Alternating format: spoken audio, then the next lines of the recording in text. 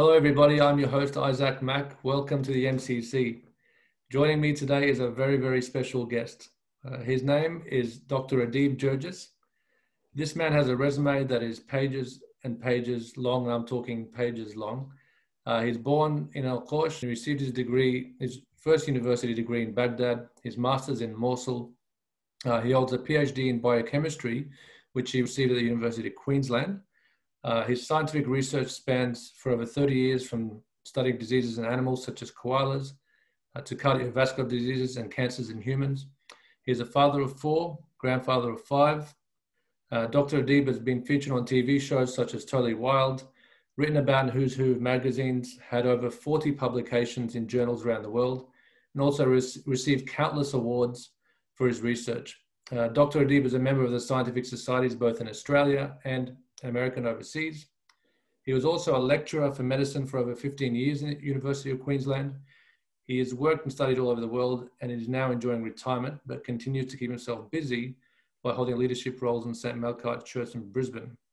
On top of all that, he happens to be my dear father. So we're very, very honored and proud to have him on. So, Dr. Adeeb, welcome, and thank you so much for joining us. Thank you very much. It's a pleasure to talk to you. Thank you. So first, I have a very important question for you. Um, how's the veggie garden? Ah, it's excellent. Growing everything almost, all the veggies that we need. What's in season right now in uh, the Girjes household? Well, the season is, you know, win- winter is gone now. But what fruit or vegetable is? summer, so so all the winter things is gone now, and we start growing something, which is for summer season. You know. Have you any Raman growing?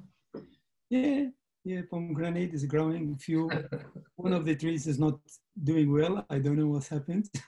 the others, Uh, lemon is growing, lime is growing, so it's all right. Oh, good. So for people who don't know, my father has a phenomenal veggie garden at the back with all uh, anything you can imagine, all the herbs. Yeah, It's quite, it's quite good. I enjoy uh, time with it always. Yeah. Yeah, I know you do. so Okay. it's been quite a journey for you, right? You know, what do you think when you hear me speaking about all your achievements and the journey you've had so far? What does that do for you? Well, it's a good summary. What you Mm. said, it's it's okay, but my story is a very long, long, long one. Yeah, I'm happy with it because I was, you know, facing lots of difficulties and obstacles, but I come over it, and then I was really feeling hard in some point of my life, but now it's everything is good. Yeah, So I achieved what I what I planned for. yeah. That's that's more important. Yeah. And you were born originally in Alqosh? Yeah, well, this is a very nice story about my birth because um, the place of birth is in a small town called Alqosh, which is which is in the north of Mesopotamia, Hmm. the land between two, liver, two rivers. Iraq today, Tigris, Euphrates? yeah, Tigris and Euphrates, which is Iraq today. And it is, for me, it's very ancient city because it's the best, the, the birthplace of the Prophet Nahum, which is estimated about 700 years before Christ. Wow. And his tomb still there, Still Alqosh. yeah, still in Alqosh. And I think they start to probably renovate it and make it to be to look really great because he was the prophet who predict the fall of Nineveh. Oh, really? Yeah, and that's happened in 612 BC, before Christ. And Alqosh was about 45 kilometers from Mosul. Hmm. Mosul is the capital of uh, the Nineveh province, or they call it governorate. Yep. And there's still people in it, it's about 5,000 to 7,000 people. Hmm. And one of the monasteries in Alqosh is very old one, is about 15, 1500 years old. Yeah. Still exists, still Still- there, plus other places, very interesting places. It's very interesting small town. Yeah. I love it, really. It's beautiful town, yeah. I still remember as a kid. It's it's So wonderful. I, I born in my grandparents' house in Alqosh from my mom's side. yeah. And then when I was three months old, my mom traveled to Mosul because my grandparents from my dad's side, it's living in Mosul. Oh, that's why you went. Yeah, so we we lived there till I left Iraq. We lived in Mosul. So that was the beginning of my life. So you were the only one born in Alqosh. All the other brothers and sisters in Mosul. Yeah, all my other brothers born in Mosul. Okay. Yeah. The first shock I faced in Mosul is when I lost my brother when I was four years old. Yeah. Yeah, he died from he pneumonia. Hmm? How old was he again? About one, one, a, one year, one a bit. Wow. Yeah. Yeah, he was young, but he was walking in the, I still remember him like today, Wow. walking around and talking and making some sounds. And I still remember his face. He was so beautiful boy. Oh, Yeah. But anyway, he died from pneumonia. Maybe in these days we will never lose that sort of yeah. person at all. Yeah. So depend on the medicine, treatment, and place when you live there. Yeah. That's, It's that's it's, a uh, big shock. Uh, That's a big shock for you being such a young age and seeing that. yeah, yeah, yeah. I still remember it. Yeah. Yeah, I was going to ask you, like, you're one of 12 kids, uh, but you were the first, so obviously you're the favorite by your your mom and dad. Yeah. I was the favorite by my dad and mom, my uncles, of course. because I got only one uncle, one aunt. So don't say that I was a spoiled kid. No, I wasn't. Of course not. I wouldn't say that. But No. your your mother, my grandmother, God bless her, you know, she's passed on, but she ended up having 14 kids, yes? Yes, she missed. She lost one, and my my brother that I talked about him died young at the age of one or one and few months. I don't remember exactly his, his age, but he was over one years. Yeah, Yeah. Oh, so sad. Yeah. Um, and I've got three brothers and eight sisters. eight sisters. Yes, I know. yeah. um, so, what do you remember most from your childhood in Iraq? What, what sticks out the most? Well, in in, uh, in primary school, I was in the school which is run by the church. I Okay. mean, was uh, name was Shamoun Safa, and later changed their name to Babel due to you know you know discrimination always in in Iraq, Yeah. and uh, the Christian always treated as a second class citizen. Always. Even even when you were like very young. Yeah, even I, I remember when when when accident and one thing happened to me, and I was really upset about it, very upset about it. I was in uh, grade eight, and uh, we have an exam in social, what, what they call it, social uh, subject, something like that. Hmm. And then after the after we finished the exam, the teacher took the papers and then corrected and bring it back to us to have a look on the marks and whatever. Yep. I looked on the mark of mine and versus the, the person sitting next to me. And, and I did better than him. And he was cheating, looking on my paper and writing and writing and writing. Hmm. And then I looked on the mark.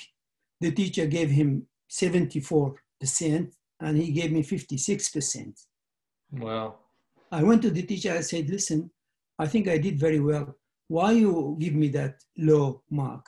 Hmm. He said, "You- you're Christian and you're arguing about my marking. Wow. Go back to your place, otherwise I will fail you. Jeez. I still remember that. So that that was something made me to feel that why they do that to us. Yeah. Yeah. And when I came to Australia, I keep, you know, comparing how they treat Christian in Iraq versus how they treat Muslims here in, in Australia Hmm. with, with dignity, with the freedom, with democracy, with everything. So that that hurt me a lot at that time. Yeah. But, you know, time gone on, and then I passed, that and reached the high school, and then I I went through there very easy, and then I I apply, you know, to do a lot of things. I first of all I was interested in army. I applied to join the army, but my mom didn't let me to do that. I Not- went not and they.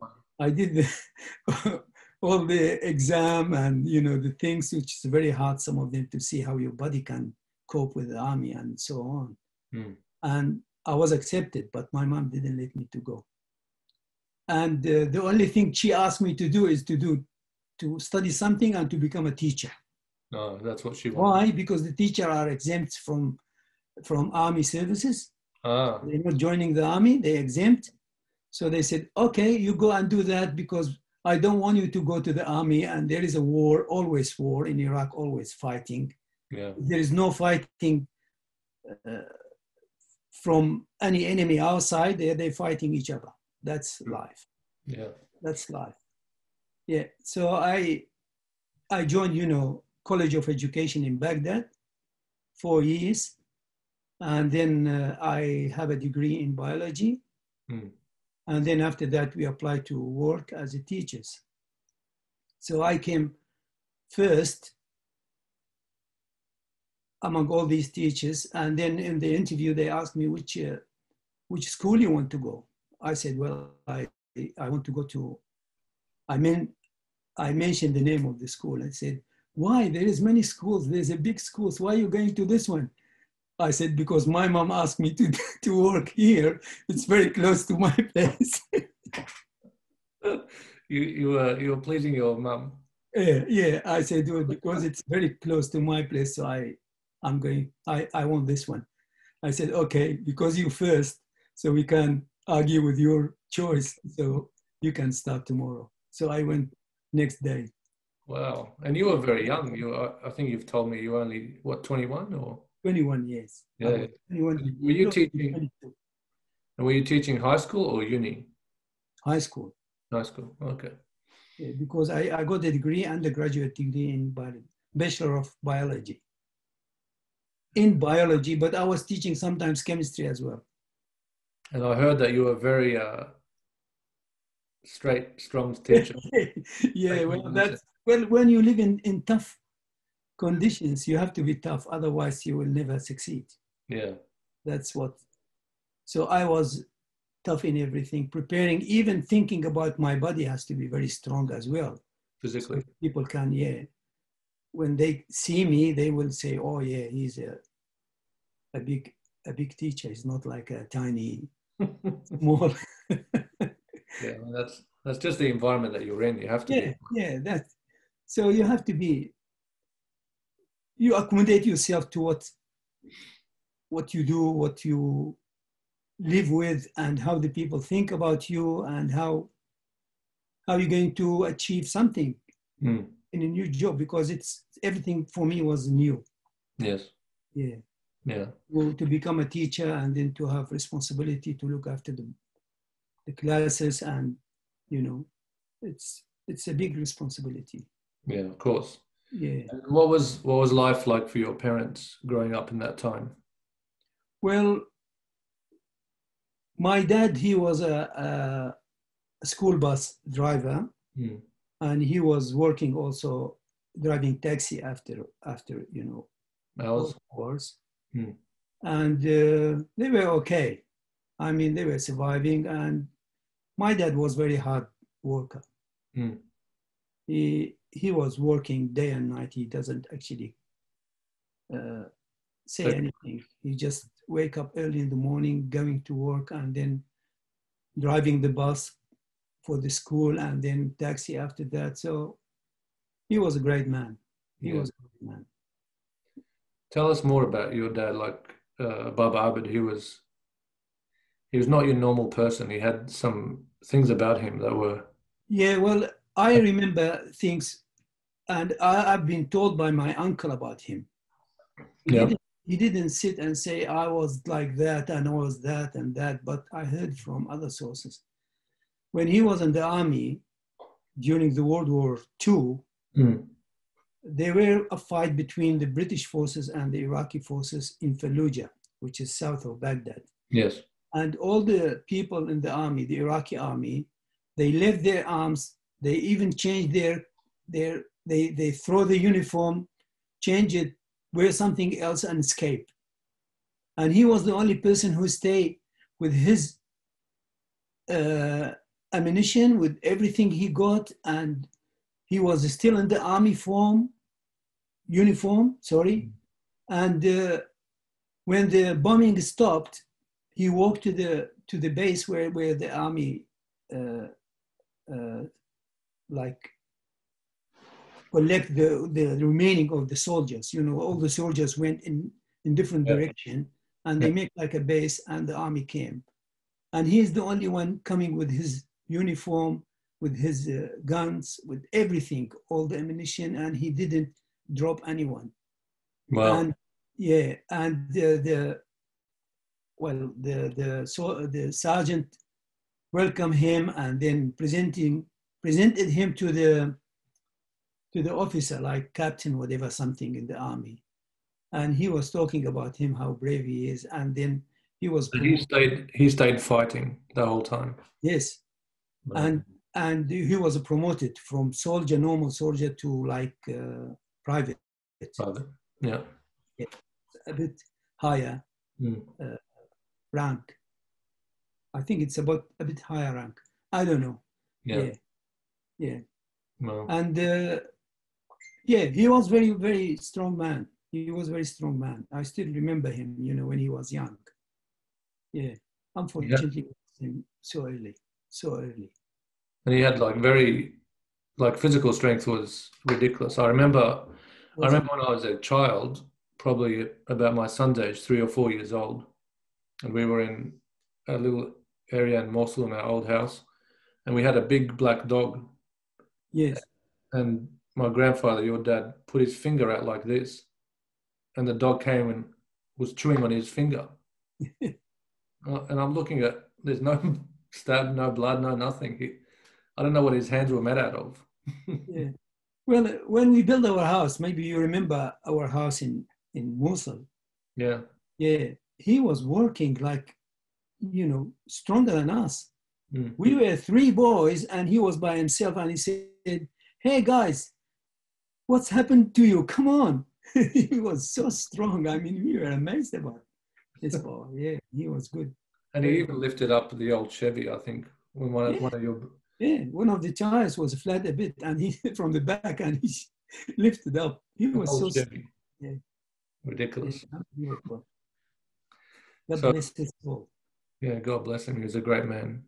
Um, and talking about your physical presence, um, you also developed a love for bodybuilding. Yes.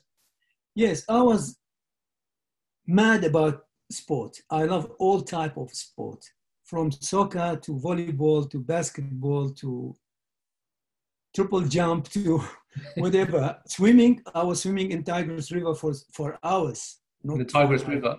Yes, Oh, wow. uh, crossing the Tigris River from one side to the other side, and swimming in in Tigris River almost every day in summer.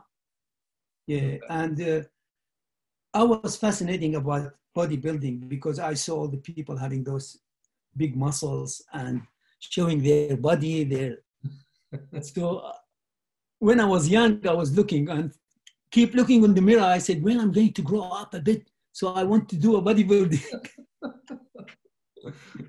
so, so I, I start when I was 16.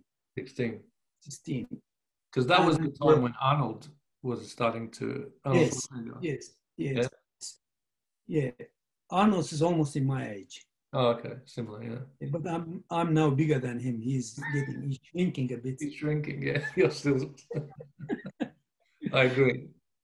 Yeah. So you, so- did that for a few years? when, when I went to Baghdad, when I moved to Baghdad to study at the university, I was keep you know going to the club and doing my program and and one of the the trainer, he was the trainer of those uh, uh, big Iraqi bodybuilders.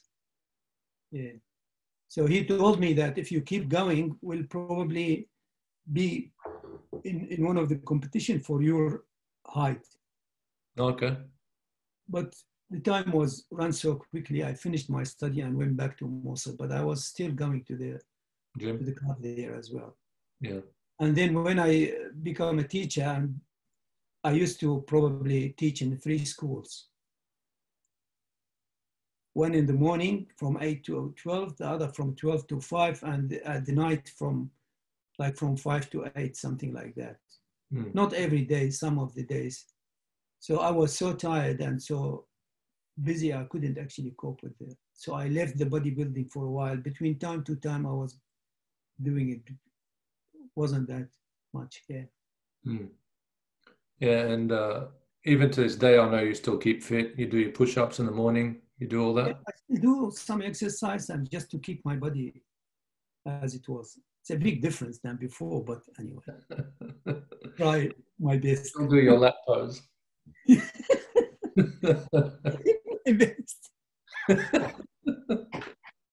uh, and you know, sorry, going back to the time when you so you finished your teach, you went back from you went from Iraq to Mosul. Um, Yeah. Started teaching again in three schools. Um, I remember you telling me there was a time in your life where you had to carry a gun at all times. Uh, I mean, I think Iraq was communist before Saddam. Is that correct? Well, it wasn't wasn't communist, but was trouble always. You know, like when when uh, When was the most the revolution, when when the Iraq become republic, he was a kingdom.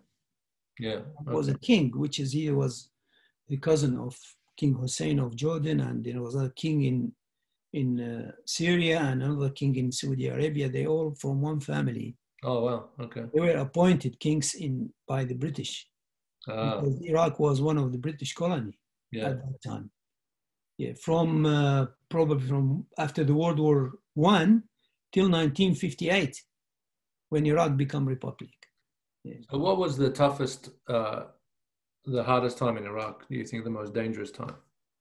Was that in the Iran-Iraq War, or Well, you know, the, the, the more dangerous part of Iraq or, or life in Iraq, because there are so many parties, Hmm. Like communist Baath parties, Islamic parties, whatever, you name it. There's quite very high number of parties, and they fighting each other. yeah, So whatever, if you join one party, not the other, you will probably in trouble. So you have to to think about it, how to survive with this sort of environment, which is really very hard. yeah, So it was always trouble, always uh, killing, hanging, assassinations happening everywhere, and kidnapping, Mm. asking for ransoms, and they're doing a lot of funny things. And well, it wasn't funny, but it is sad for the people to live in that sort of environment. But what we can do, that was life. Till Saddam came to the to the power in 1979, and then in 1980 the war started between Iraq and Iran, Mm. and then Iraq went also in a miserable situation again yeah, because of the war. A million of people died, and and from both sides, and then million of people become injured, and the economy went down, and everything was in shambles. It's in trouble situations. yeah. We'll get back to that because um, I just want to stay on the timeline. so after after you went, you went, uh, you came back to Mosul. You were teaching. Then you get married to a lovely young Al Khoshi lady by the name of Ferial Faye. Uh, yes. then kids start to come along. You have a, your first was uh, my sister. Yep. She's the eldest. Um, how was life? Did life change a lot after marriage? Well, wasn't a good. Uh, I call I call it the gold the golden years Okay. from uh, 1970 or 69, 70, like that sort of thing, till 79. Hmm. It's about 10 years. I call them the golden years, and That's every. Iraqi, That's every Iraqi that. acknowledged that, really. And before the the start, the, before the war start between started between Iraq and Iran Yeah. Okay. and people start building houses looking for jobs and look like everything's settling down Hmm. But look like there is some preparation for for war and my dad God bless his soul, he said, "This guy is not is not relaxing. He is planning for something bad for the country. I About can't. Saddam. Yeah, yeah, About Saddam. yeah." Okay. and uh, he start you know talking about that because they were look like asking everybody to join the army reserve army uh, uh, popular army which is Jay Shabi they call it. Yes. and they start you know like bringing all the people to become like a big huge army. Mm, mm. so he said why are you doing that? The, the, the, the country doesn't need that many people. It doesn't need that that sort of preparation. Why are you taking people from their jobs and then put them in an army to train them and make them ready to to fight and whatever whatever Yeah. so that that was uh, the situation in the 70s at the time we call it the golden years Hmm. of iraq but after the war started everything changed So my grandfather predicted that because yes uh, he he said that he Saddam would probably ruin the country, didn't he? yes Yeah. he was very popular at the beginning of his life Mm, people loved him so much and he was looked like uh, doing well for the people but after that he changed he changed completely when he, when the war started he'd become a different person yeah. Yeah. He was recruiting everyone. even during the war some people if it's if if they didn't affected by the war he they were okay Mm, mm. but uh, some people lost their sons i remember one of the family lost four sons Wow. in the army. So that was the disaster because the workforces is the young people. If we Mm. lose the young people, who's who's going to run the country? Yeah. Exactly. That's that's the problem at that time. Yeah. So, and not long after you you get married, um, kids come along. I came along.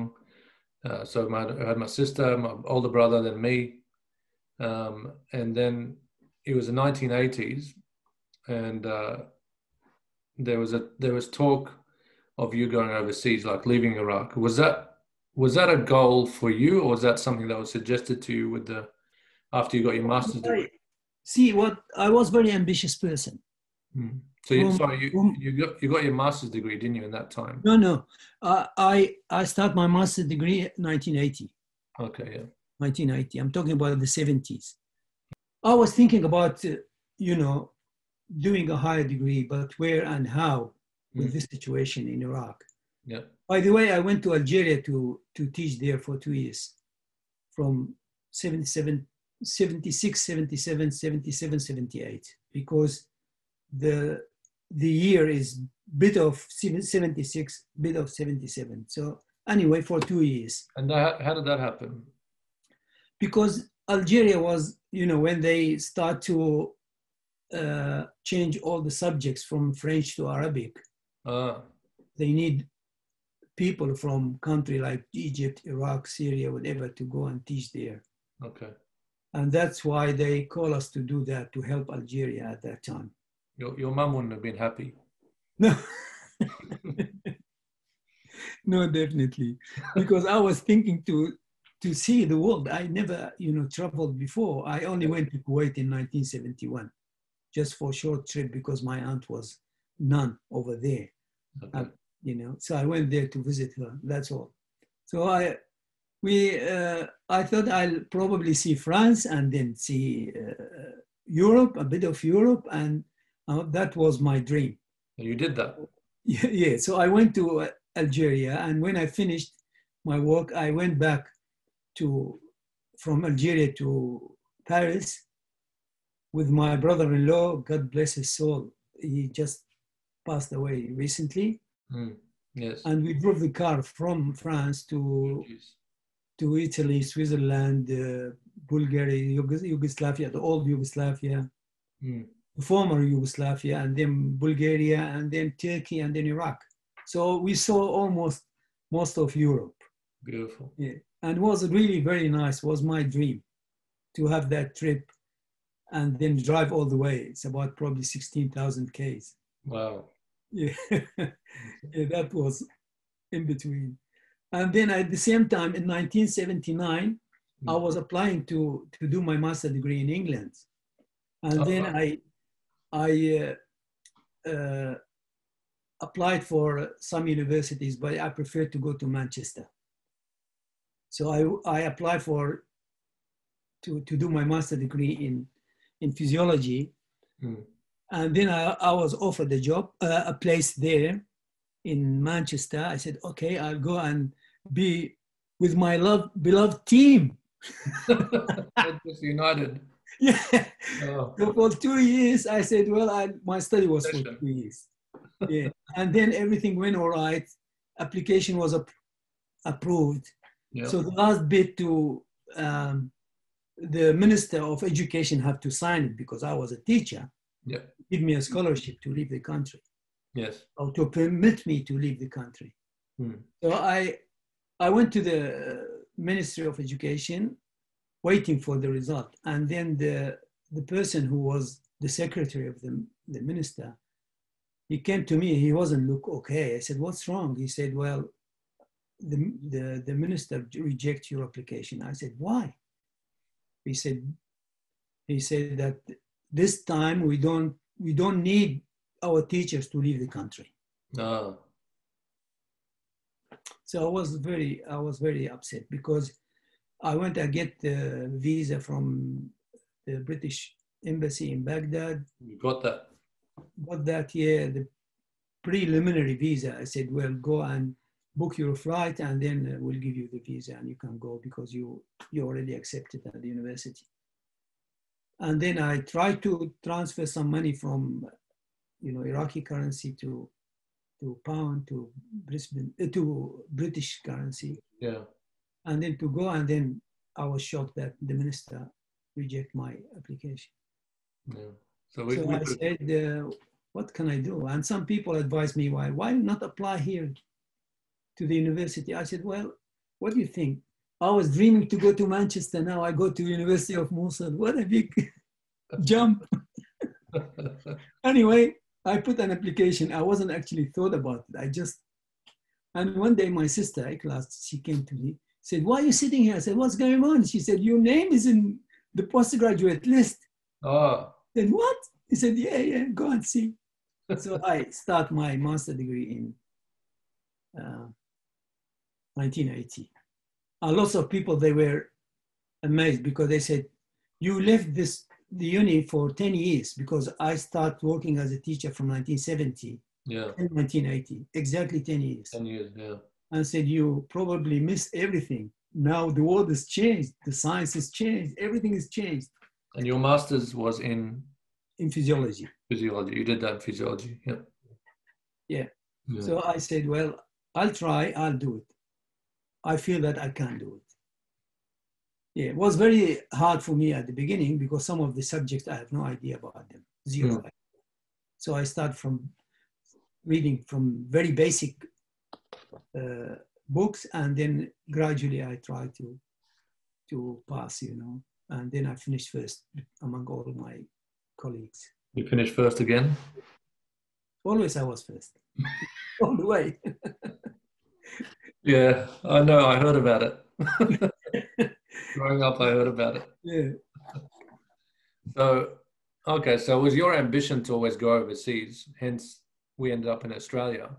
Yeah. Um, so what happened there? So at the time, I think, is this, am I right when saying that there was possibility of us going to Germany or Australia? well, I see what happened there because normally people, when they apply to do higher degrees, they Mm. apply to many places. yeah. Whatever offer, and they study the offer and then they choose one of them. Okay. And that's what I did. I applied for Bonn University in Germany and Swansea College in England, and then John Hopkins in, uh, in, in America. America. Yeah. And, And I've got a, I've got an offer from all of them. oh, okay. So they all said yes, All said yes. including, including University of Queensland. Yeah. So I was sitting thinking about where shall I go? Where shall I go? I'm not by myself. I've got a wife and four kids. It's a heavy, heavy job. And all the people there, they said, don't go. You will never do it. How going to look you after, after your family and then you do a PhD? In what? In genetic engineering. Mm. That was my scholarship on genetic. And genetic engineering was a new subject in Iraq. Nobody knows about it. And myself, I wasn't actually familiar with it that much. Just a little bit about genes, chromosomes, cells, and whatever, whatever. Yeah. But details, nothing, zero. Mm, mm. So I was in between where shall I go? If I go to Germany, I have to learn German language, which is very hard. It's not easy. if I go to England, England is very expensive for family to live there. Yeah. If I go to John Hopkins, they said, we offer you a place, but in 1986. Oh, okay. A year. Time was 85 Yeah. when I applied. The only university offered me the, the place to start in 1985 was University of Queensland. So I went to the Saudi embassy in Baghdad, Mm. met the cultural attaché. He sat with me and started talking about Brisbane, about Queensland, about whatever, whatever. It's a beautiful city, beautiful university. It's one of the top 100 university in the world. And he started explaining, you know, to me, how's life in, in Australia. And well, I said, probably I've got a family, probably this is the best place for me. Good. So that's the full story. And then and we start, you know, I was in the army, by the way, At that time. at that time. And then when I got the scholarship from University of Mosul, they released me from the army. I Hmm. was uh, I appointed in Mosul. They give me a job as assistant lec- lecturer and then lecturer later on in the third year. Okay. And then after that, I left. So that was, yeah, the situation over there. And then when we arrived here, I started a new life, really new life. Let's rewind a little bit because I want to talk about something that I witnessed when I was a little boy.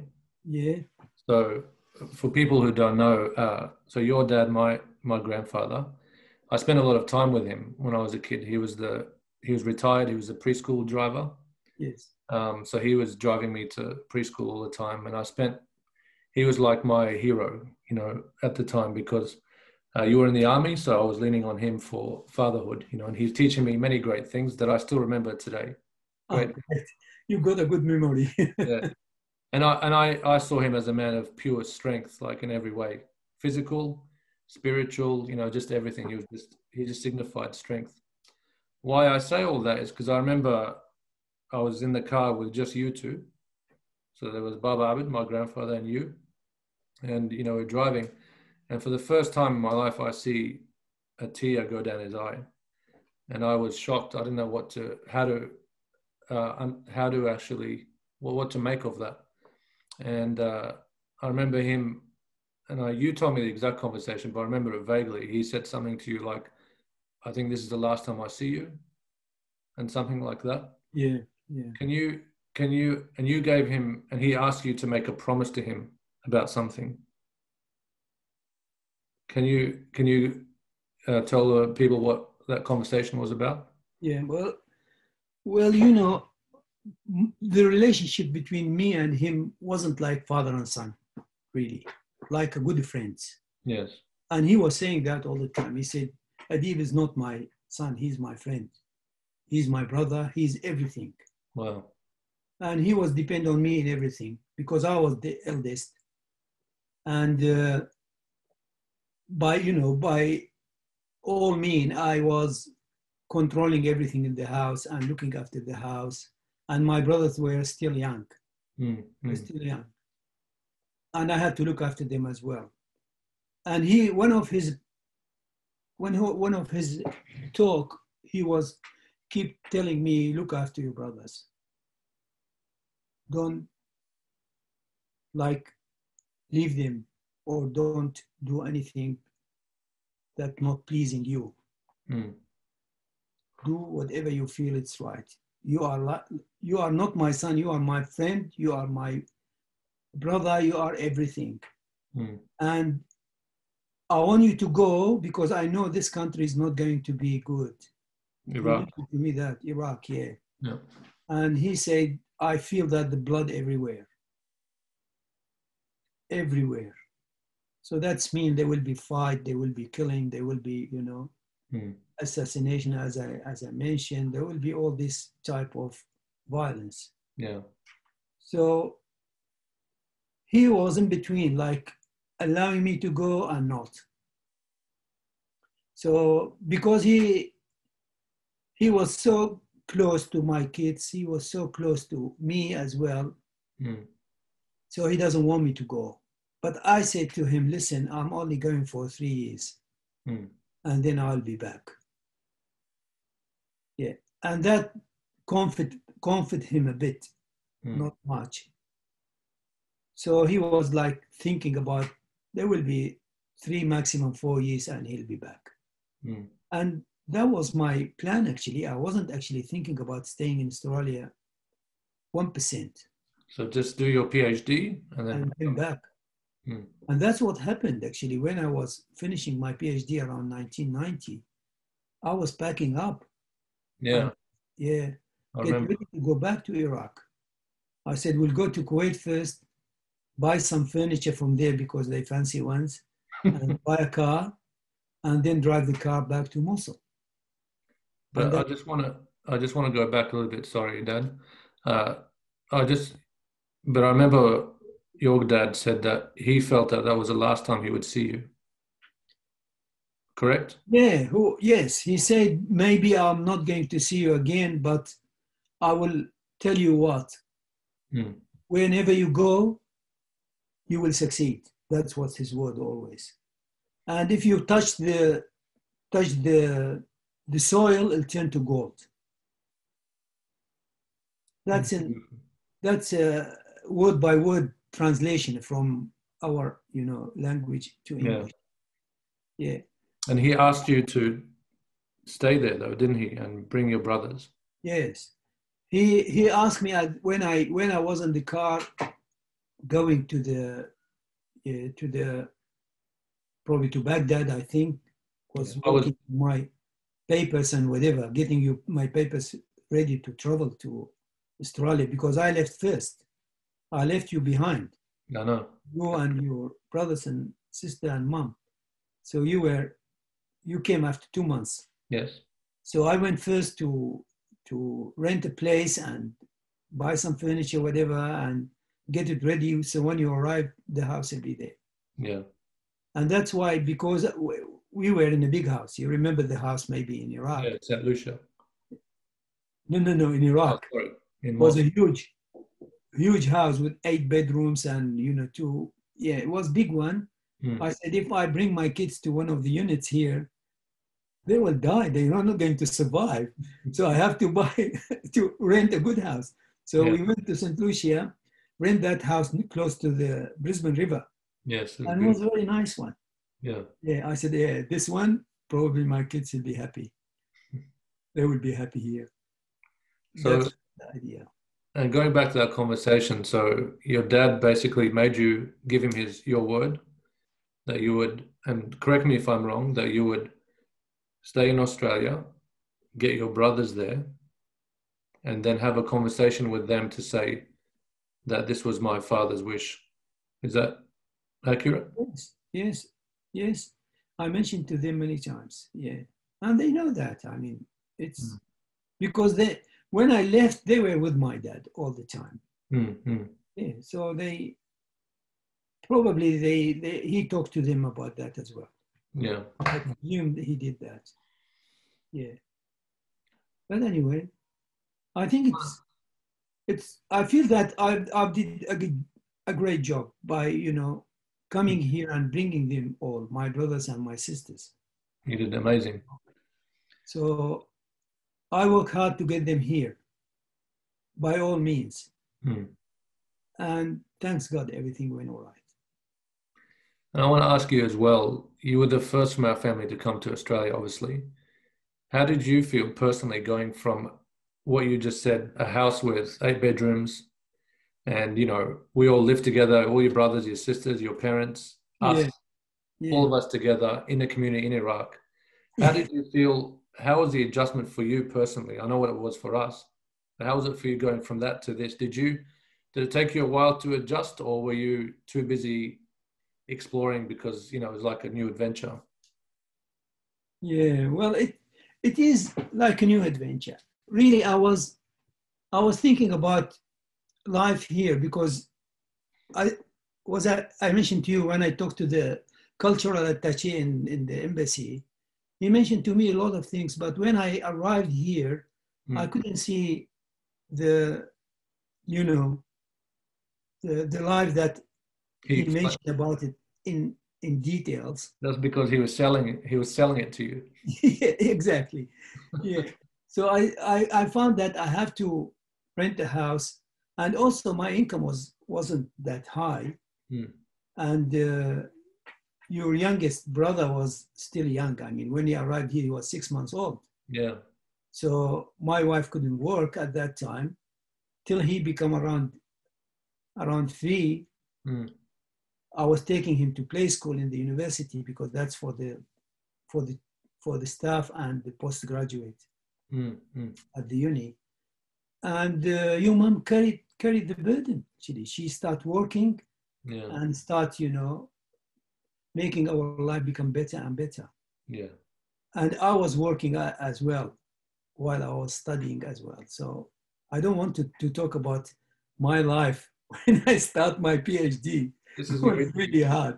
If somebody in my position, he will escape and go anywhere. no, no, no. It's that's the whole point of this conversation is because I know what you went through, and it it might scare some people off, but it'll actually give people inspiration, you know, to Yeah. pursue. Because I remember you also you were doing your PhD during the day, and then at night you were yeah, I was working in, in Sunday Sun and Korea Mail yeah at night Mm. from 11 o'clock till 5 o'clock in the morning.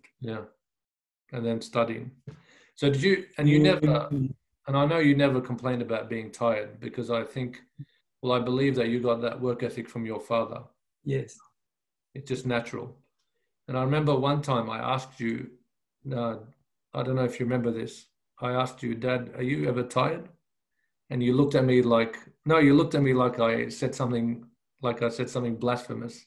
You, said, you said to me, Ab, Ab, which, which is basically saying it's, it's shame to actually even say you're tired. yeah, yeah. Till now, I never feel tired. I know. It's Yeah. that's what I love about you. Yeah, my body is not that strong like before, but you know, Yeah, spiritually I'm strong. I know. So the plan, um, like you said, the plan was to go back to Iraq. You're already getting ready. yes. And what was it? The Gulf War that stopped all that? Yes. That was 1990. Yeah. And the same time, the uni offered me a job, so that's make me to think twice. I got an offer from University of California when I finished my PhD Oh right. as well. Yeah. Still, I have the offer that's in my files. And then I was in between either go, to go there or stay in, in Brisbane. So I talked to my wife, and then we thought that even to you guys, maybe if you remember, I don't know what that was in 1992. You remember that? Yeah. Yeah. Yeah, I was in between because having a job in University of California is not is not easy for everyone. No, Only the top people can get that sort of. there was a- And if you if you go and do do your postdoctorate there, that mm-hmm. was, that was. Even in my colleagues at the university, they said you should never think about saying no. Go and take the job. It's USA. yeah, right. I I don't care about USA. I just care about my family, my wife and kids. Yeah.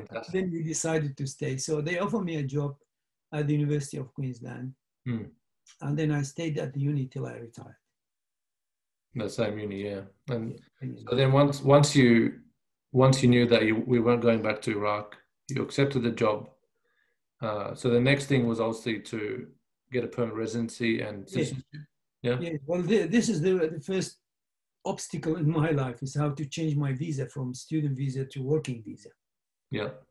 When I get the job, I succeed in that. So they, they changed my visa to working visa. Working visa, yeah. and then that's allowed me to apply for a residency. And then I applied for that. It took about two years and more, I think. And then finally they accept me as a permanent residence. And because I wasn't, I wasn't a refugee. My brother came, my brother Rad came as a refugee, Hmm, and he got the citizenship before before me. and he came six years after I arrived in Australia. Yeah, six, seven years. Yeah. Years, yeah. Or more, yeah. Yeah, I mean, he arrived in 1992.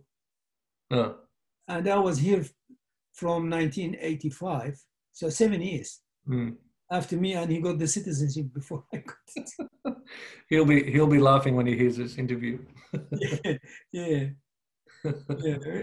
It's it's amazing. Yeah, And I just want to talk about that as well because the fact that you stayed in Australia, that made the people back in Iraq, the government very upset, didn't it?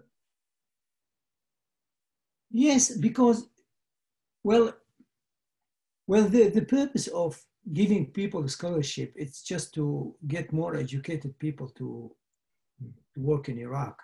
Because they, they were questioning your brothers, weren't they? Yeah, yeah, definitely. Hmm. Because every person is not going back to Iraq. They go after their families and asking why they didn't return, what's going wrong, are they against the government, against Ah. yeah, and so on and so on. This million of questions. Hmm. And they start to harass them and you know put the pressure on them to to make their you know brothers or sister whatever overseas to come back. Okay. Yeah. And So they were doing was- this. yeah what's happening what was happening Hmm, hmm. and uh, yeah and then uh, first one rod left and then uh, the rest of the family start to leave gradually and then they arrived here Because they were they were all feeling that pressure, weren't they, from the government? Yeah. Yeah. Okay. where yeah and i was keep talking to them i said leave come on don't don't wait Hmm.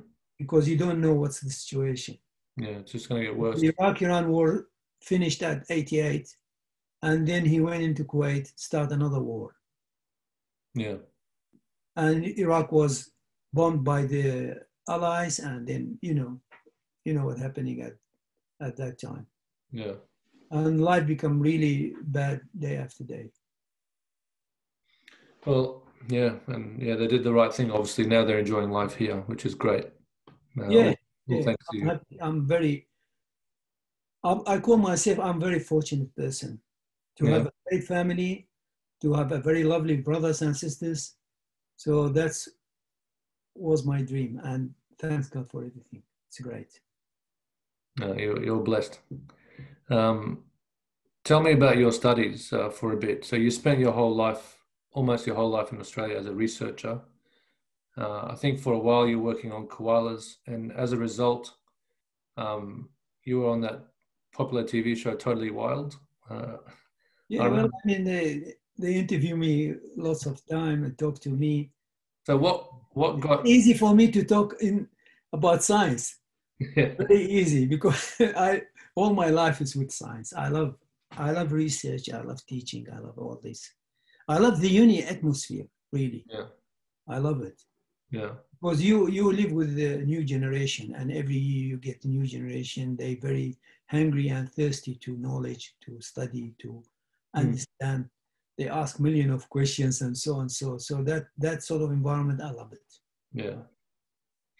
What were you stu- What were you working on for the TV show to want to interview you?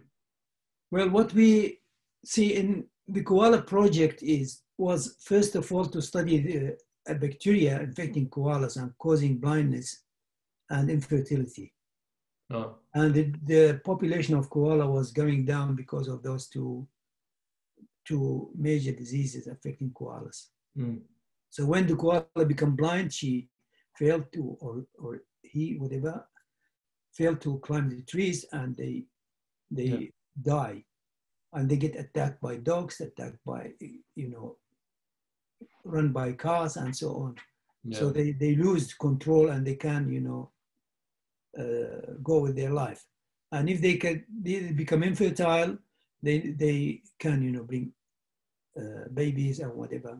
Mm, So mm. there's no offsprings coming and then Yeah. the population of koalas start to go down. So my first project is to look on the on the bacteria called the chlamydia. Chlamydia. which is uh, in between between bacteria and viruses. It behave like viruses because they're intracellular parasite. They live inside the cells. Okay. They can't live outside the cells.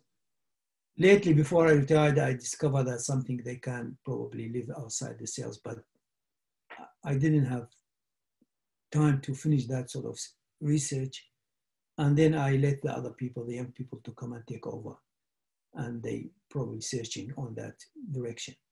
So what happened?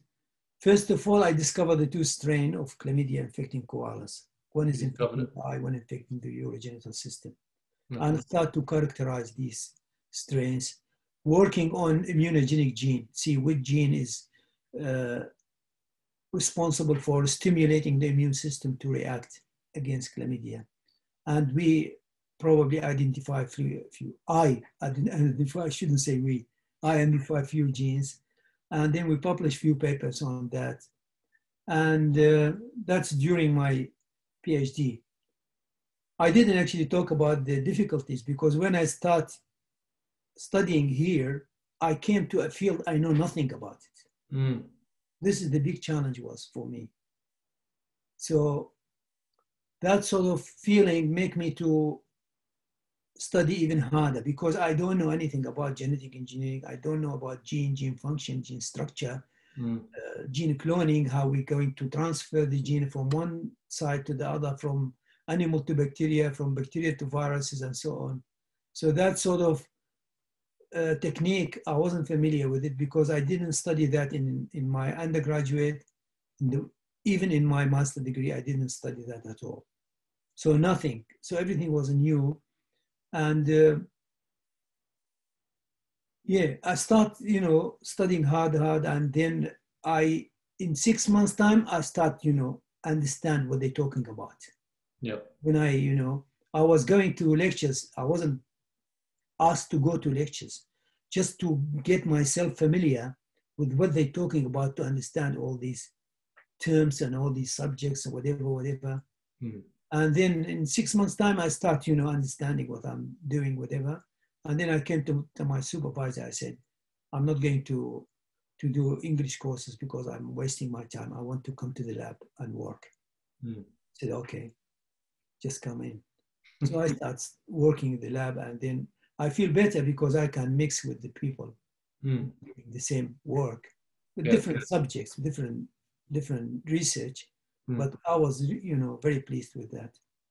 And then I start going to conferences, going overseas, in, inside, and mixing with people, making collaboration with American universities, and and the the circle was growing and growing and growing. And you guys know nothing about my scientific life at all. It's another life. yeah. Yeah, that's brilliant. And uh, so these diseases and all that stuff, that's all solved now with koalas, isn't it? No. Still going? we were we were uh, uh, working on vaccine Okay. to find a vaccine for koala. I was interviewed by ABC station, and I was talking about it. Hmm. And they asked me a question: When you think the vaccine will be ready? I said, I don't know. If I say in two years' time, maybe I will. I will give you a very rough estimation. I don't think. And then when I went to America twice to meet with the people, you know, the, the people were working on chlamydia for probably 50 years or more Hmm. and working in vaccine. And they said, this is a dream. I don't think we will, we will do it. Till now, they don't have the vaccine. Still don't have the vaccine. No. Wow. That's But it's, it's a very tricky organism. Chlamydia is intracellular bacteria, live inside. Hmm. Uh, they can live inside the cell doing nothing. So Hmm. the person become infected, they call it persistent infection. So they, do nothing. And then when the immune system become, you know, uh, abused, whatever, or something happened to the immune system, the bacteria start to grow and start to multiply like a viruses no. and then spread in the body and cause a lot of damage. Because some of the bacteria can live in the lungs, Hmm. some of them keep in the urogenital system, some of them infect the eyes, cause the, the, the damage to the eyes. They call it conjunctiva. Yeah. So that's the story of the vaccine is not is not easy. Till now, when I talk about, you know, the situation with the coronaviruses, I said I don't think they will get the vaccine because I know how to prepare the vaccine. I know how to what sort of tools they use to get the vaccine ready. Mm. But it is different with viruses because they keep changing. Even the flu vaccine now, which is the flu started in 1918 till now, about 102 years, still they don't have very, very strong vaccine for it. People get the shot and that's not preventing them from getting the disease at all. Yeah, I mean, this is this is why I, I'm so suspicious of, you know, these governments talking about having a coronavirus vaccine by the end of this year or early next year. It's it's ridiculous to me, and I'm not in science. I just learned a lot of stuff from you. Yeah. For them to be saying that it can be ready so quickly. Yeah, well, I mean, they, they thought that because what they, what they, the, the approach for the vaccine is just either you kill the organism, inject it into another animal, and the animal will produce antiviral antibody. Mm. Take that one, use it as a vaccine. So that's look like you, you giving your body something to fight the virus, or to take the protein, surface protein from the virus, inject it, make the vaccine against that or probably synthesize it in the lab. Now you can synthesize protein and use it as, as a, a vaccine tool. Mm. Or there is many, many way, or you can block the side where the, the, the virus stick to the cells in the lung. Right. Like he'll block the side, like the door, the virus go inside that door, infecting the cells. Yeah. Okay. So if you close that door, the virus unable to go inside the cells. So you can protect it. Okay. protect the person from the viral infection. But how successful is that? What's the side effect of the vaccine in the Mm. body? Mm. Need a lot of study. It's not easy. They, so, not, in your opinion, how, the vaccine, how long the vaccine will stay in the body? Are you going to be immunized with the vaccine and the vaccine will protect you for one month or two months or six months or one year or 10 years? Nobody knows. yeah. Nobody knows.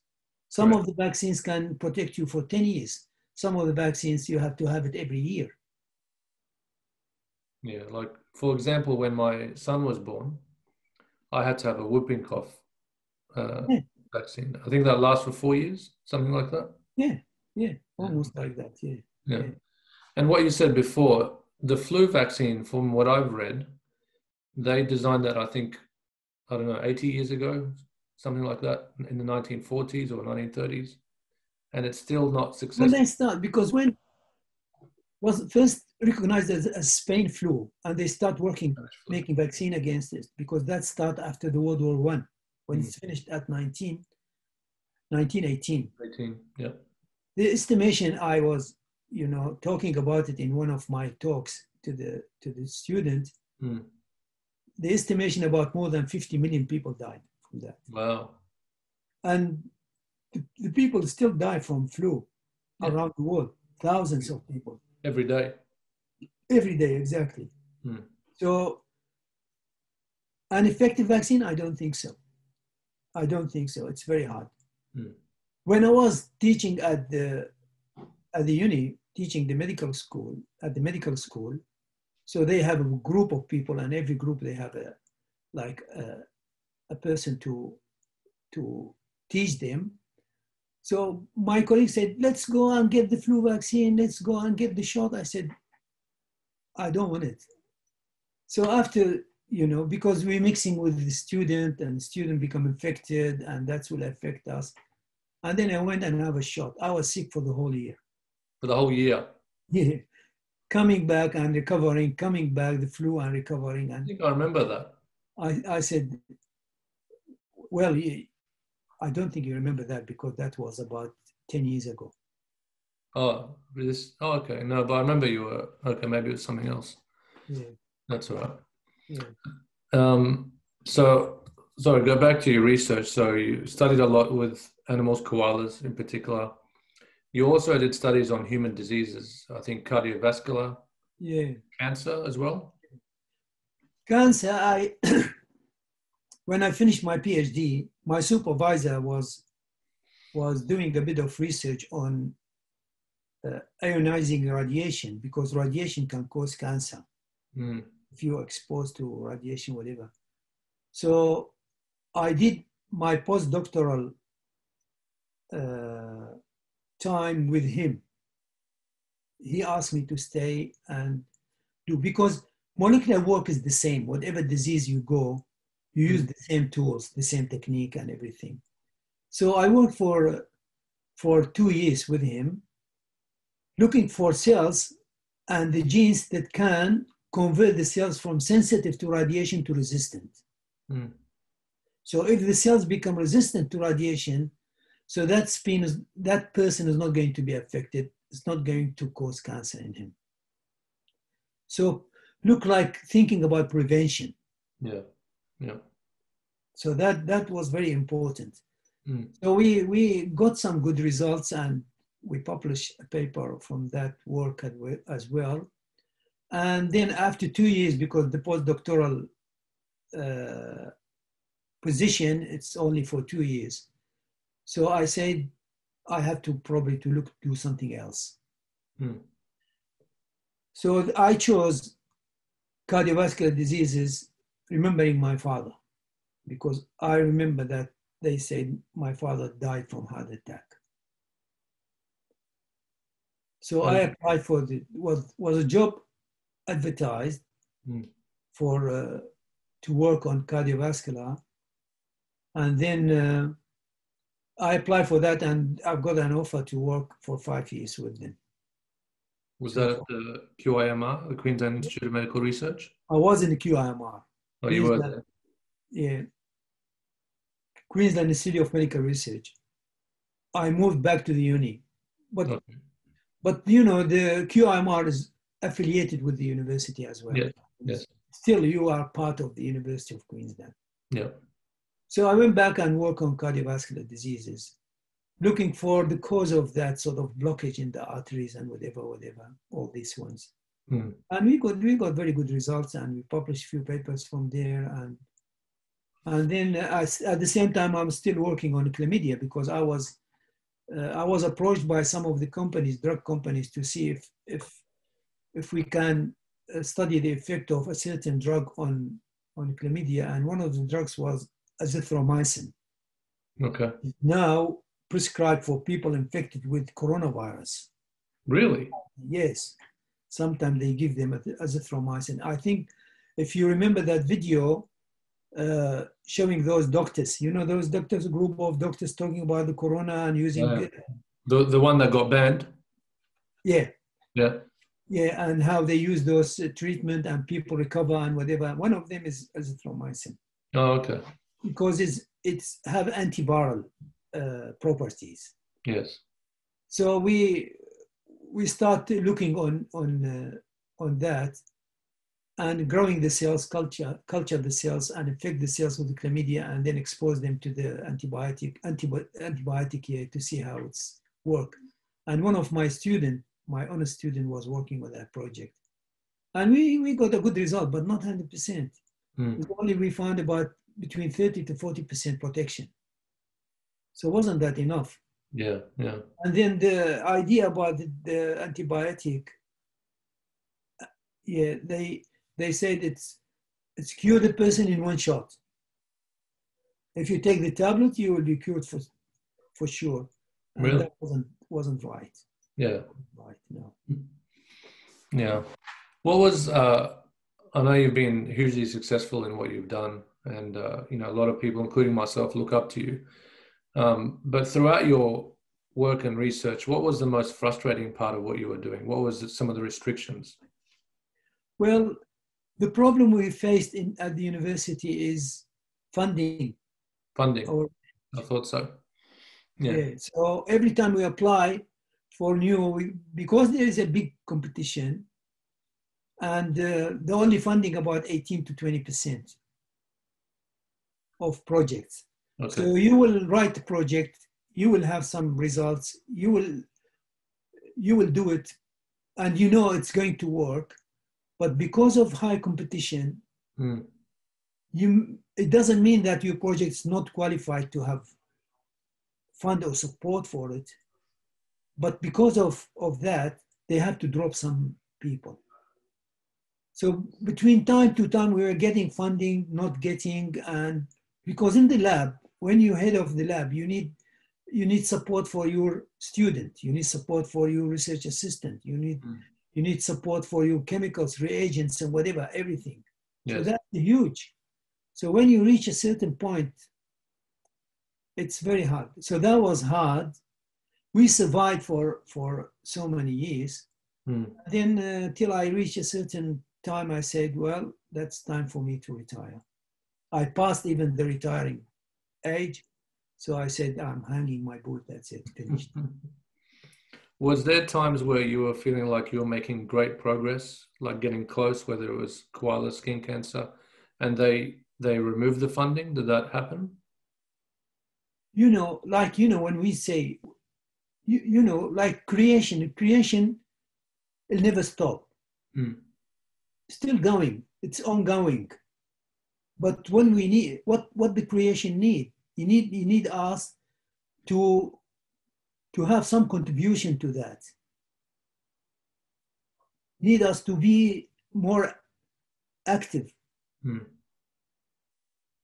So what what I feel that probably the new generation with this high tech in these days, mm-hmm. they might probably moving on from what we what, what, what we reach, they can take from that position and move forward.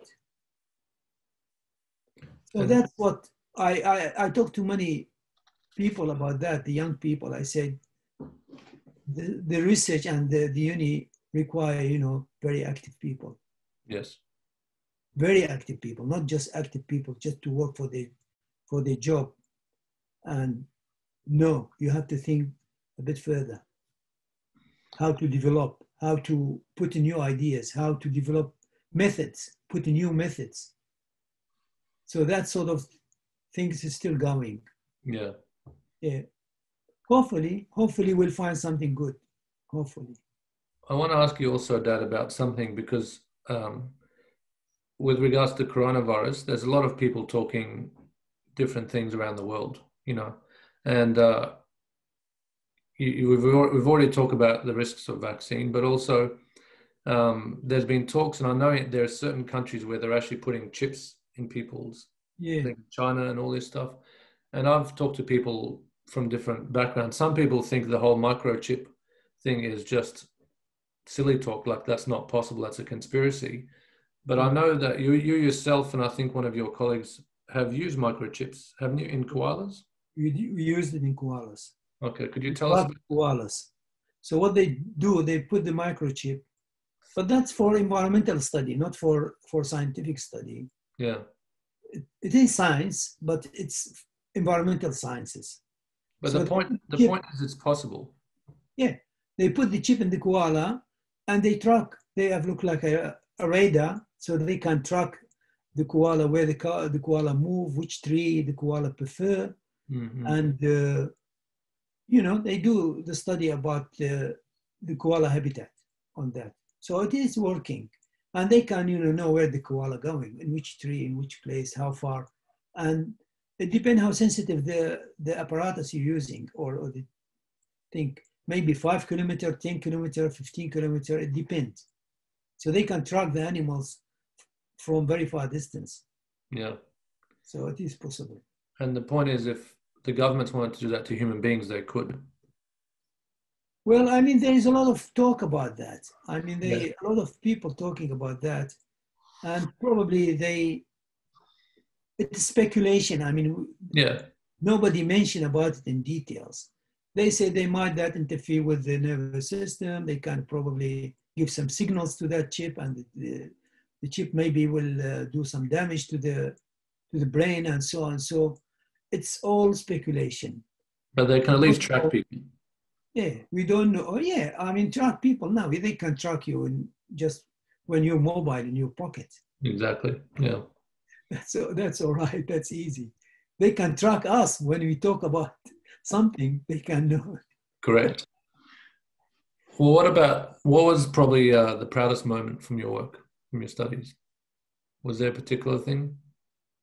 Well, a lot of things coming from my study, particularly when, when we send paper for publication and when become accepted internationally, we feel that look like a triumph.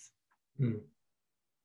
Yeah. And also when we find something in the tissue culture. I remember when I developed a koala cell line, because what, what my thinking is to study the, the koala chlamydia, I have to grow it in koala cells. Okay.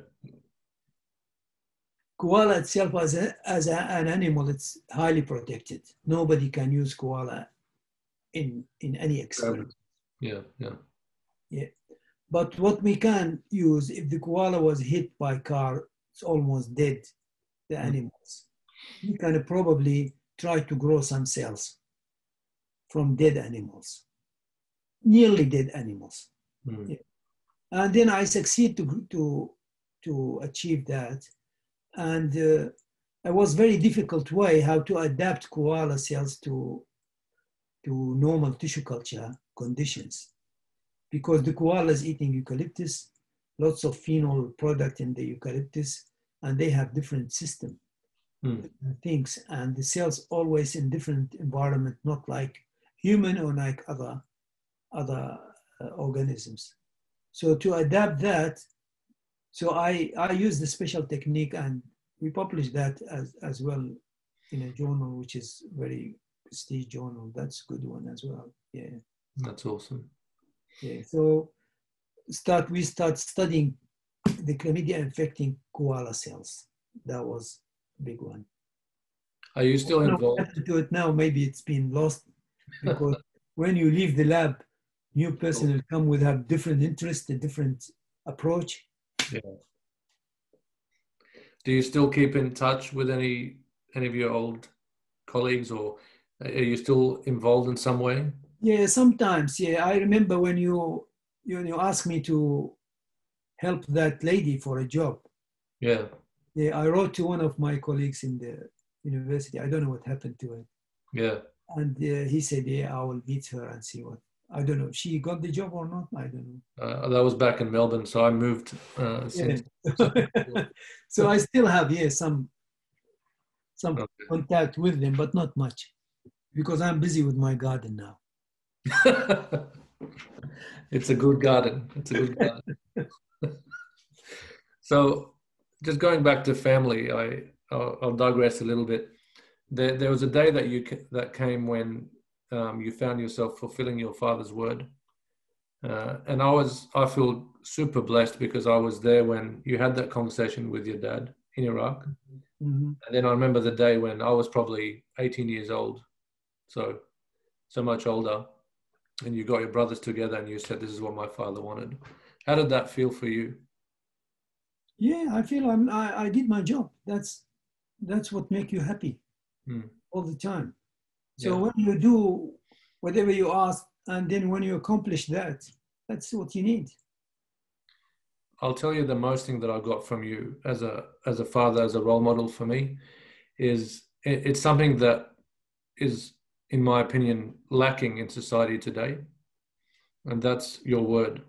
You know, your your word is when you give your word about something, you do it, and Exactly. a lot of people ask me today, you know, sometimes, uh, I can't believe you did that, you know, uh, and I just say, I told you I was going to do that. Because and pe- the reason why people are surprised, I never feel special when they give me that compliment mhm. because I, because I, for me, it's I just told you I was going to do that today, so I'm not going to sleep until it's done. Simple. Exactly. Because I think people's word these days doesn't mean as much. They'll say, "Yeah, I'll do this," or "Yeah, I'll do that," and they may never even do it. So the the the, the strength of someone's word has been diminished, I think, in many ways. And the most thing that I've got from you throughout the course of my life is how strong your word is. When you give your word to your father, to your wife, to anybody, your work colleagues, you you do it no matter what. Well, I think that's part of bravery. If you're brave enough, you will do whatever you want. Hmm. And if you have a goal, you have to achieve that goal. Hmm. You have to work for that. You have you you sh- you need to have a determination to determine what you're going to do, and you have to feel that you're going to succeed in that. That feeling is very important. That was with me always. Whatever degree I apply for it, I was having the feeling that I'm going to succeed in that. I'm going to get it. Why do you think? Why do you think you were number one so many times? You finished first, first, first. Well, I don't know. I mean, it's probably that gift from God. Maybe. I I I don't know. I, even sometimes I wasn't actually preparing for the exam, and then I go to the exam and pass easy. Just listening to the lecture or whatever, something like that. And uh, I think I think I believe in myself.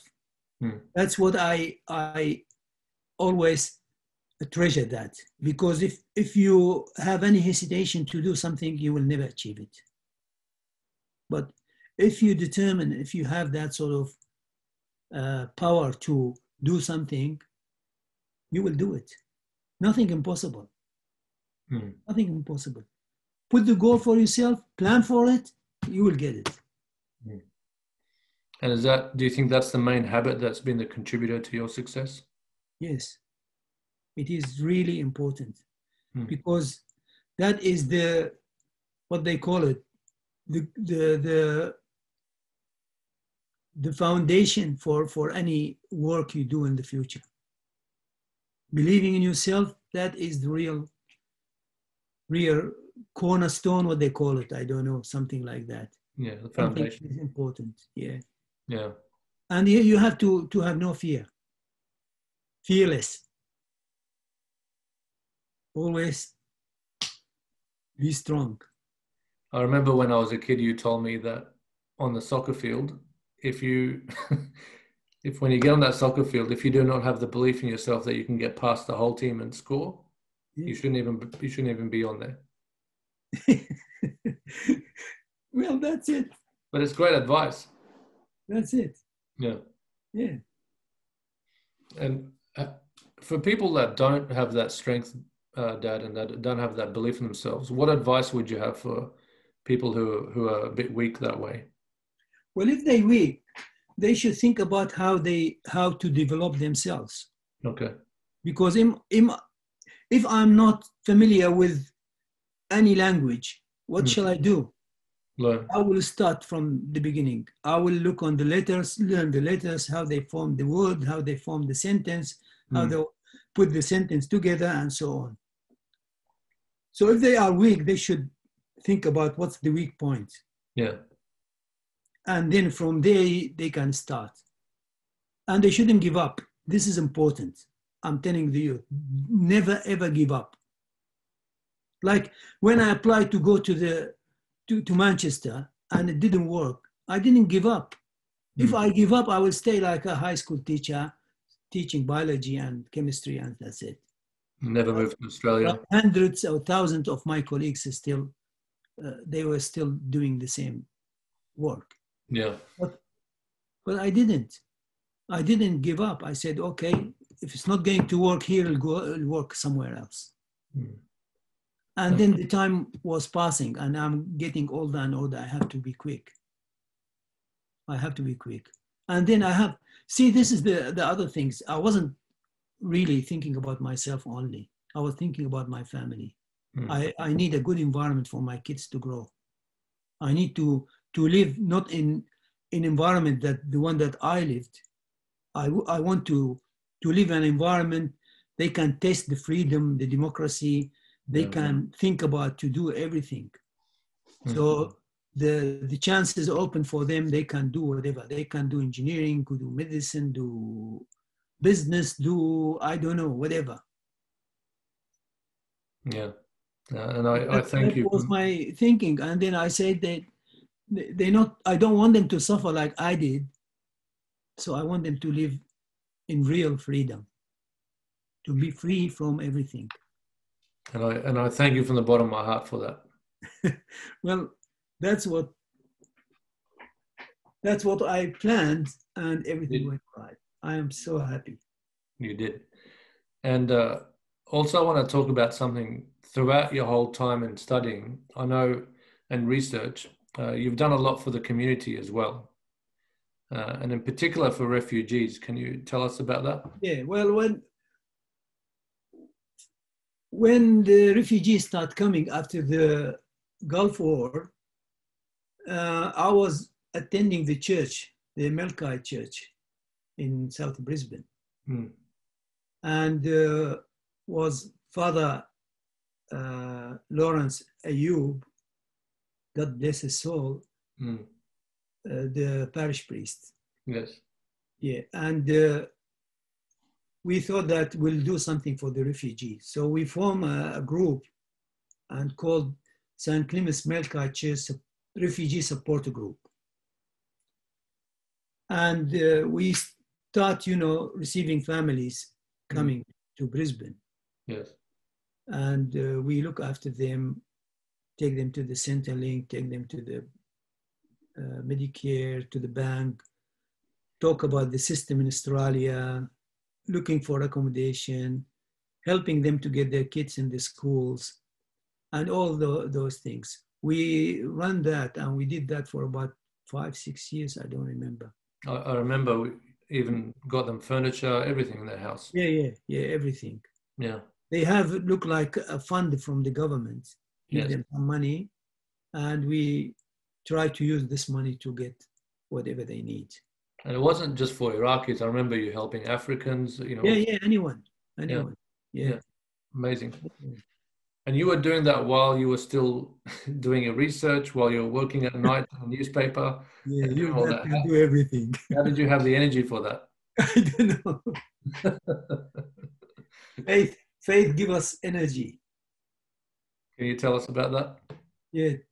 Well, actually, that's that's very important. I just want to mention about it, and even for for the youth. Yeah. And the youth is not. I don't think it's doing well in he, here in Brisbane, but maybe in Sydney and Melbourne probably because it's a big community there. But No, they're right. they need, you know, they need to use, you know, that uh, the facilities here is it's a lot. I mean, it's it's probably you can use everything. You have everything. You can contact anyone using, you know, the social, Yeah. whatever, whatever, and you can probably plan for them to do some social events. You can plan for them to to attend, you know, liturgies and uh, Mm. Christmas or Christi- uh, Christian uh, occasions, whatever, you know, they, you can organize lectures or talks to talk about whatever, you know, believe that it'll, it'll serve the community, the youth community. Mm. You can study what's the problem, what sort of problem facing in these days, in this, in this time, and elaborate on that, work on that, and make them, you know, to, to be attracted to, to the talks and to whatever. So they can serve the church, they can work for themselves, they can work for the others as well. Mm. Because we're not just connected to, to, to the church, we also connect to each other. So we have to work for each other and then we work for the church. So that's that's sort of faith will bring the person, make the person more active. It probably change something in his mind because faith will help the, the, the person to develop a lot of things in his mind. They can be brave, they can trust himself, they can they can uh, uh, become trustworthy, they become, you know, everything, you know, they they they will get a lot of positive things. Mm. And they will plan for their life in better way Yeah. they have faith. If they don't have faith, they will go anywhere.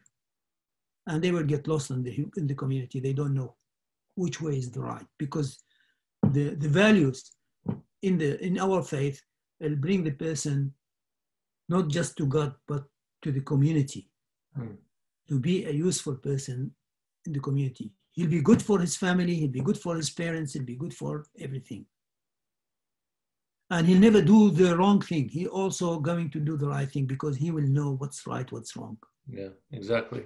And that's faith. I love it. Otherwise, you know, the, the community is filled with a lot of troubles, a lot of junk around. So that's what we need. We need really hard work for the for for the youth. So you need to have start with small groups, small groups, and in those uh, groups, small groups, you will find a mentor from one of group, the other. You appoint one or you ask one. That will connect, contact other people. Social media, it's it's available for everyone. So 10 people can become 100, 100 become 1,000, and so on. So they start from very small group and then they start to in, yeah, exactly. influence each other. Because I know 10 people, you know 10 people, other student will know, other person will know, and then if you come all together, gradually will will have a very big group. So that that's not hard, not hard. With the help also with the clergy as well, with the priest, with the deacons, whatever, whatever in the church. Well, I know a lot of kids these days are. I hear them a lot saying that they're tired. They're tired. I hear that word a lot. Yeah, because they they're busy with too too many things. Yeah. That's why they're tired. Mm. Suppose that you you sitting here doing that interview, and your mind is thinking about other. That's a problem. You have business, you have a relationship with somebody, you have a, a problem with the other one, you have uh, something in the market, you have, Too much. you have something in so that that, Yeah. that sort of situation you will never can you will never let you to focus on something Mm. and that, that's why they not succeed in their approach Yeah. That's beautiful, Dad. Well, we've got to wrap up soon. So I've got, only have one or two other questions for you. Um, and it's about parenthood. yes that's a good question I'll tell you, and, and this is no secret. To me, you- you're, you're my hero. You always have been. And the reason being for that is because uh, when I think about, you know, strength, when I think about family values, when I think about determination, focus, attitude, you've been an amazing example for us, you, and you still are. Uh, because I know for a fact in this world that we live in today, it's so different from the world that you grew up in, you know, when you had your family and everything like that. Today, there's so much more distractions, there's so much more temptation, there's so much more, all, all everything is there, you know. Um, but when I when I think of an example of how to be a good father, how to be a great husband, how to be, you know, um, a hard worker, having a great work ethic, not complaining, just loving life. That's you as you as an example to me. So I thank you for that, uh, since from my heart. But also, I want you to also speak to parents of today. So, what advice do you have for parents today who are because you know we're seeing more and more divorces, we're seeing more breakups, we're seeing more issues within families, all this sort of stuff. We didn't. I was very blessed. Uh, my wife's also very blessed. You know, um, we grew up with parents that were strong together, um, and and I never, you know, I didn't see the things in relationship that you had with my mum that I see that's so common in relationships. People are getting uh, consumed by gambling, all sorts of rubbish these days, and they're part of the church, which is crazy, you know. And even people obviously who aren't part of the church are getting distracted with so many things. So I want you. I mean, I mean, I'll take the advice, but I want you to speak to fathers in particular. Um, what advice do you have for them, new fathers or fathers that have been with us for a while? well one one one advice which is which is include all to have faith okay. faith is the backbone of our life if Faith we in don't God. have that everything will be going to be pulled in apart So faith in God or faith in yourself or what? what? faith in god first Okay. Yeah. to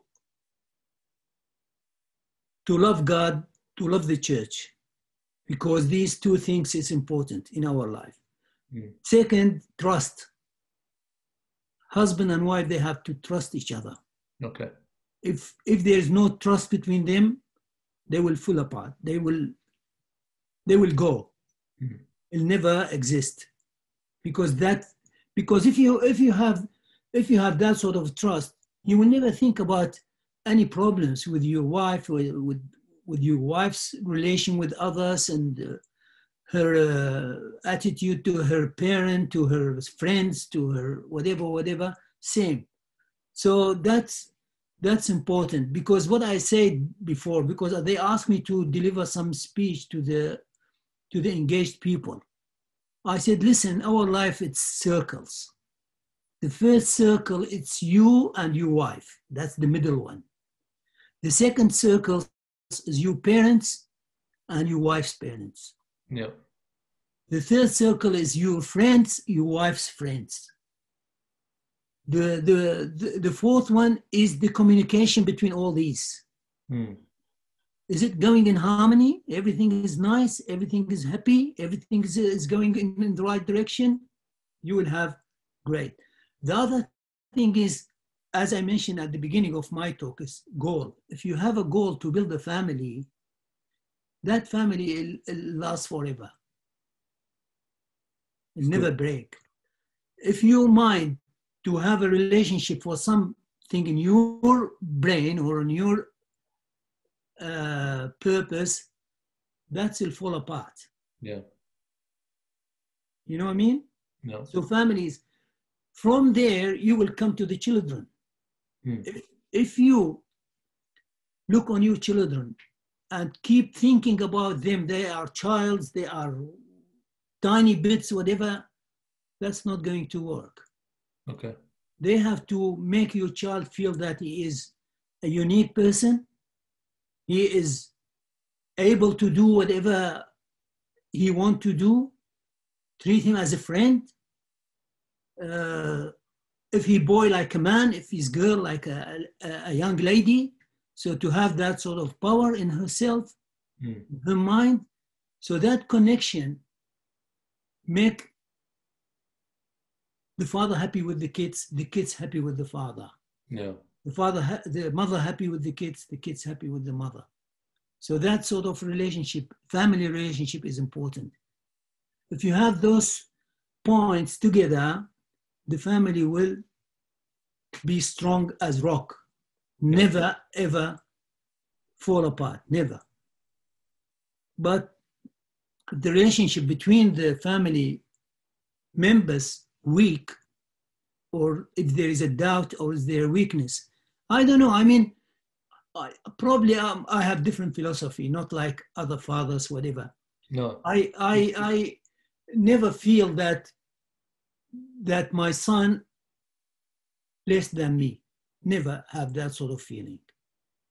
Because if we feel that we are less than others Mm. how are we going to survive? Yeah.